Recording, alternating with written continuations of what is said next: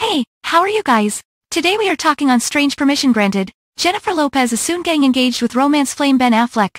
Let's watch details in this video. Give it a thumbs up and don't forget to share with your friends. To make a very funny and not at all overdone joke, did I wake up in 2002? Because Jennifer Lopez and Ben Affleck are back together, and they're not ruling out getting engaged again. What's next? Tobey Maguire as Spider-Man.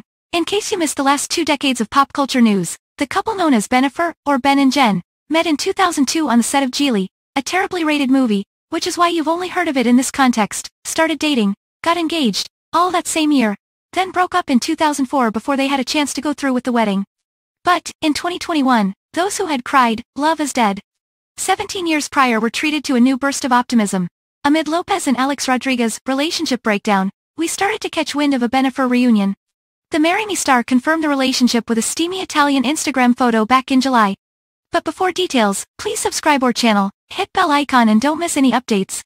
Since then, multiple insiders have implied that the couple is extremely open to marriage. Now, yet another source tells Entertainment Tonight that the lovebirds are open to the possibility of getting engaged and married. The source adds, Ben and Jen are so in love, their loved ones would not be surprised if Ben pops the question. Of course, they will be considerate of their children when thinking about moving forward with their relationship. They both want things to be great between their kids, not just the two of them. According to the insider, everything has been smooth sailing so far, not only for Lopez and Affleck's romantic relationship, but also for the friendships between their respective children. Lopez shares two kids with Marc Anthony. Affleck has three with Jennifer Garner. They really trust each other and that is so important to both, the source continues.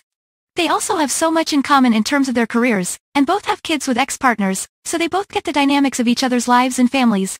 Ben's kids really like Jen, and her kids love Ben. He is incredible around them and makes them all laugh. He goes with the flow. Their kids like each other too, which they are both so grateful for and happy about, because they know that sometimes it can be tough.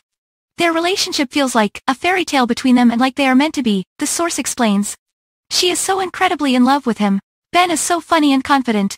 He is always telling Jen she can do anything. He is not scared or intimidated by her money or success. And that's not all. Apparently, their exes are making Affleck and Lopez life easier as well. Garner is in a good place with herself and with Ben, the insider says. She is happy for him. She is glad that Ben is healthy and thinks he is a really good dad. As for Lopez and Anthony, they talk a lot. He is very understanding and loves her as a person. He is always supportive of her. They are just really great friends and co-parents. He wants her to be happy. It does seem like things might be a tad more complicated between Lopez and Rodriguez, but you can't please everyone, eh?